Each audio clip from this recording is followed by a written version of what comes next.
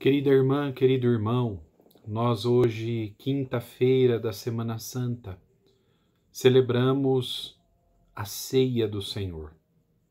Hoje pela manhã na nossa catedral, às nove e meia, nosso arcebispo metropolitano, Dom João Inácio Miller, presidiu a missa dos Santos Óleos.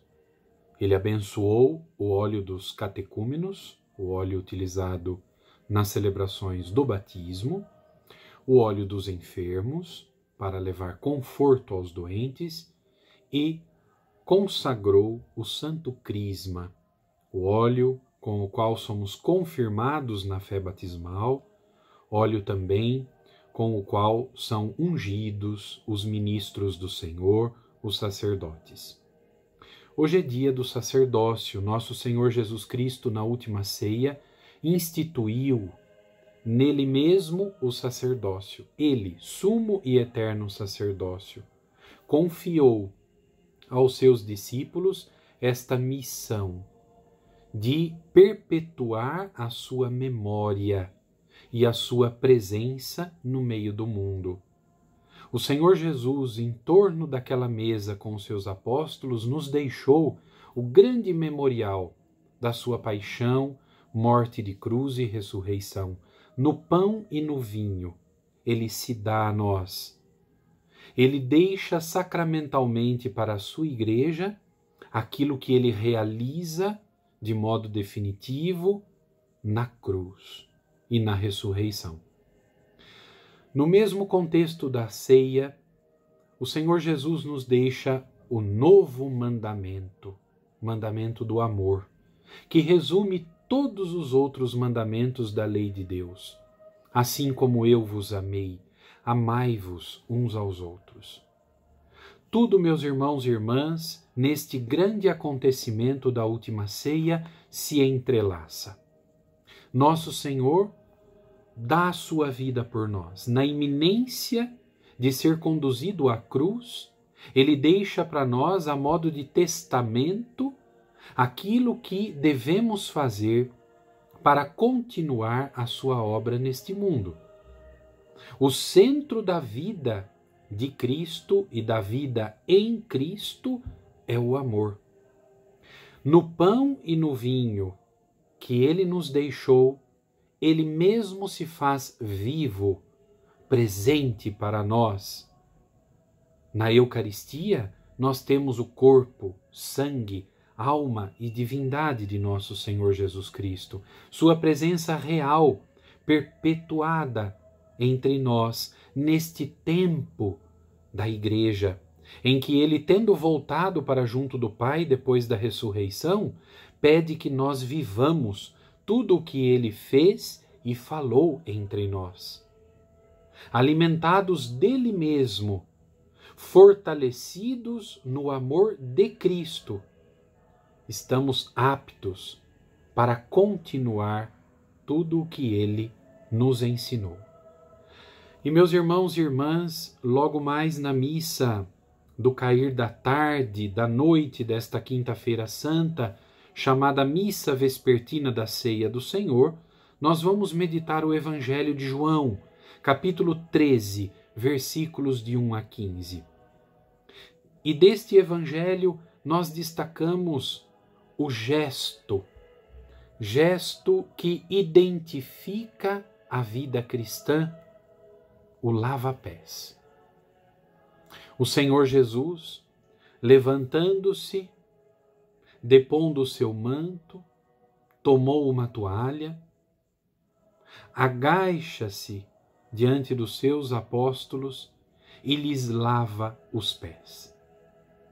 Destaquemos a atitude de Pedro, que se espanta e diz: Não, o meu pé tu não lavarás.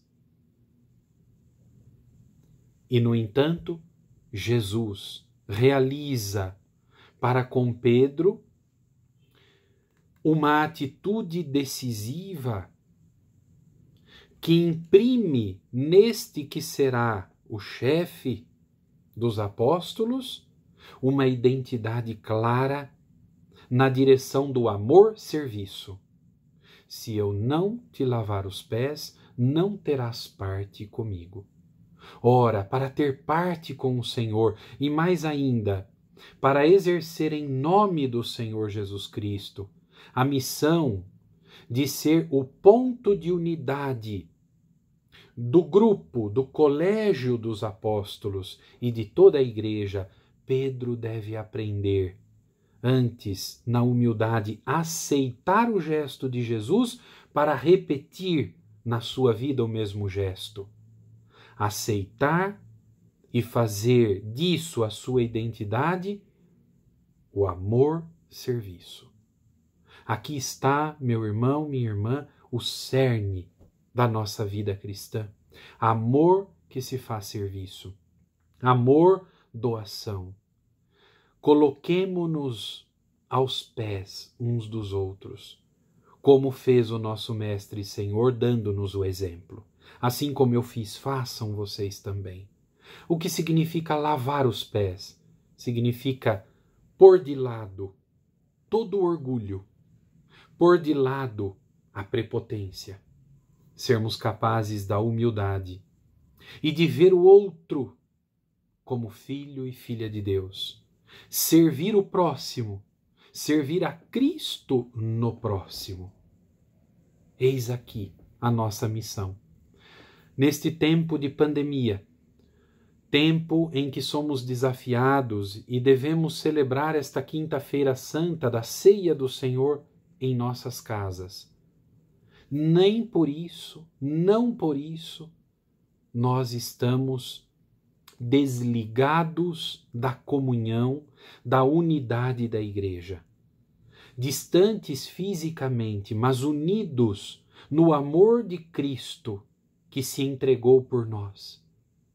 O amor de Cristo nos une, nos uniu e nos une para fazer de nós a Igreja. Apesar desta distância física, nós entendemos, reconhecemos e professamos na fé que Jesus se dá a nós hoje no pão e no vinho consagrados, na Eucaristia, que o Senhor nos chama mais do que nunca a amar como Ele amou e amar até dar a vida, amar até dar o sangue se preciso for. Este amor que dói, mas que é fecundo, gerador de vida.